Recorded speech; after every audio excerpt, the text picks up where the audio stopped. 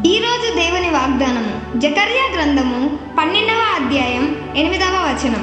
ఆ కాలమున యహోవా ఎరుషలేము నివాసులకు సంరక్షకుడుగా నుండును. ఆ కాలమున వారిలో శక్తిహీనులు దావీదు వంటి వారుగాను దావీదు సంతతి వారు దేవుని వంటి వారుగాను జనుల దృష్టికి